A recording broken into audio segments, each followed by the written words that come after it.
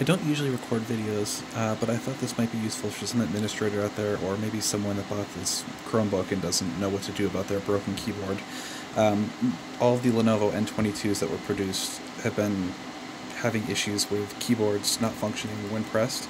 Uh, it turns out it's actually an issue with the ribbon, but Lenovo doesn't talk about that.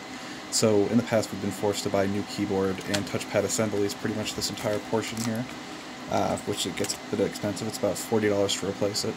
I found after tinkering with it that actually if you turn it over here and take the ribbon off the board, the issue, if I can get it to focus, is these little pads on the bottom of the ribbon.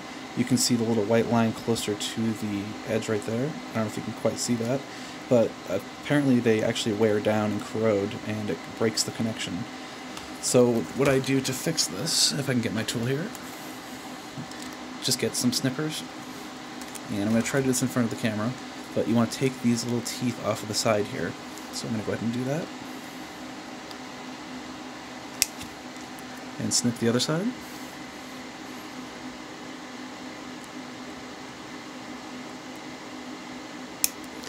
And then you want to look at where the corrosion is. It's easier to see in person. And you want to cut right along that corroded part. I might not get this on camera. I'm going to look at this instead here. I don't want to mess this up. It's a bit hard to cut.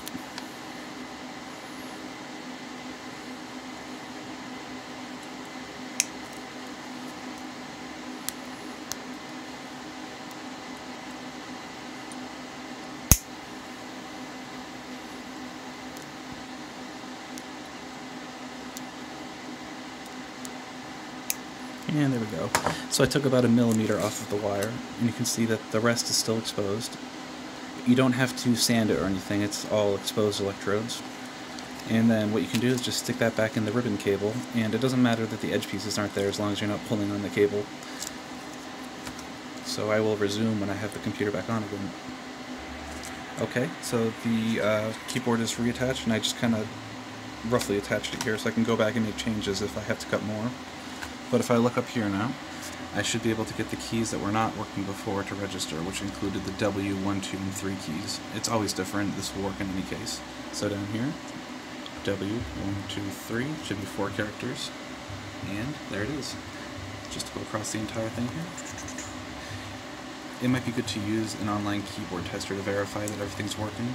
You may also want to fiddle with the cable a little bit more. Uh, sometimes the corrosion actually happens inside of the ribbon itself, so you may just want to take the ribbon, and it sounds kind of funny, but just kind of lightly pull on it from the side with the keyboard here. Just give it a gentle little knock back and forth, kind of wrinkle it up a little bit, and I find that in most cases that does the trick.